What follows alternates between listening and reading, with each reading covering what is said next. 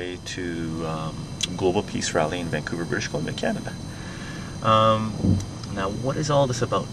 Well, peace rallies really start kicking off. Uh, global peace rallies really start kicking off uh, before the invasion of Afghanistan. Back then, um, there was maybe a handful of people there. There was uh, 20, 30, certain cities, maybe certain towns, maybe had like one or two people standing in a corner protesting against the war invasion of Afghanistan. In Vancouver back then, uh, we had maybe 25 to 50 people show up.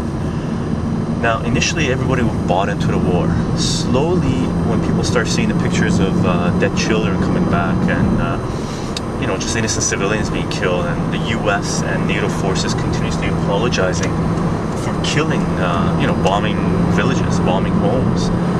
Uh, people started coming to peace rallies more and more, and it peaked basically before the United States invaded Iraq. Now, if um, if anybody attended the peace rally just before the invasion of Iraq, uh, you would have probably had tears coming from uh, to your eyes. Um, forming in your eyes anyway because uh, it was magnificent, it was brilliant. Uh, there were tens of thousands of people uh, in each specific city. It was estimated that uh, anywhere between six to eight million people marched on that day just before the invasion of Iraq. Um, unfortunately, the United States uh, went ahead with its invasion with some uh, so-called coalition countries. one of them really being, um, well, two of them being UK and Australia.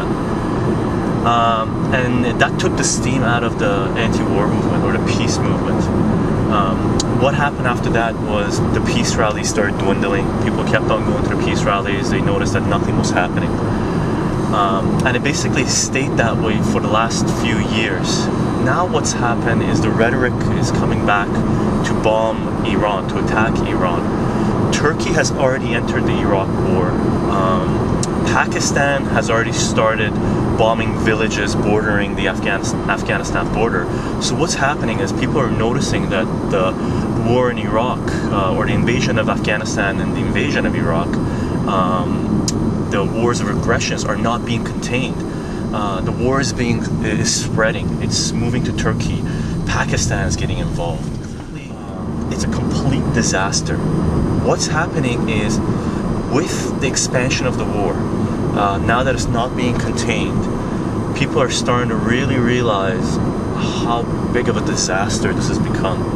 And the rhetoric is coming coming out from the Bush administration and certain other organizations that they're going to start attacking Iran or they're going to start the attack on Iran. Now, the attack on Iran is not going to be a conventional attack.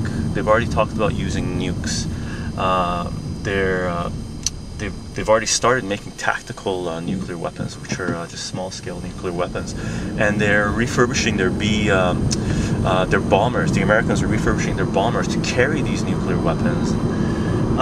It's you know people are starting to realize that this is getting completely out of hand.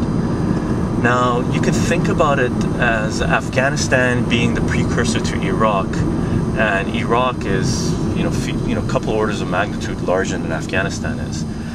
Iran is going to be a couple of, couple orders of magnitude larger than Iraq if the United States is allowed to bomb Iran. Just to get uh, some numbers in there, right now it's estimated that approximately 1 million, actually more than 1 million Iraqi civilians have died due to US's invasion. If the United States attacks Iran, take that a few orders of magnitude higher, take it one order of magnitude higher, that means if the United States attacks Iran, there's going to be at least 10 million people dead. And that, I hope, is uh, some numbers that are going to bring more people coming to these peace rallies. Um, and I believe that's what's going to happen now. The last few peace rallies in the last few years have been pretty uh, uh, non-substantial, really. Uh, there hasn't been that many people going. And what's happening right now is the word is getting out and people are starting to really worry about uh, the US attacking Iran, especially using nuclear weapons. Now, the importance of nuclear weapons um, is this World War II ended with the use of nuclear weapons. Actually, it ended before the use of nuclear weapons, but let's say it ended with the use of nuclear weapons. And 72 million people died in World War II. That was about 3% of the population of the world at that time. If we assume that the same percentage of people are going to die in World War III, which is what the United States has stated we are in, in 2006, in May 2006, George Bush, the President of the United States, and Israel's UN ambassador stated that World War III had already started. This is in May 2006. They are um, restating these facts or this this agenda for them to start World War III, full-blown World War III. In the last few months, this World War III rhetoric has come out. Some people are actually saying this is World War IV. Now, if we assume that the same percentage of people that died in World War II are going to die in World War III, that means 3% of the world's populace is going to die. Right now, the population of the world is 6.6 billion. 3% of 6.6 billion is approximately 200, 200 million people are going to die. That's what the United States is proposing. Now, yes, this number, 200 million people dying in World War III, is a conservative estimate because World War II ended with nuclear weapons. These madmen are saying that they want to start World War III with nuclear weapons. So this is a very conservative estimate.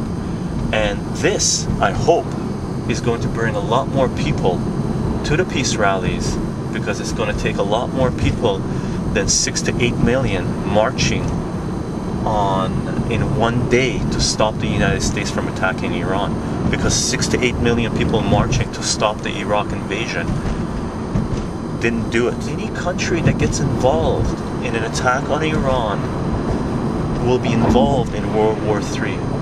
In Canada, the number of people marching forced the Canadian government not to get involved in the invasion of Iraq.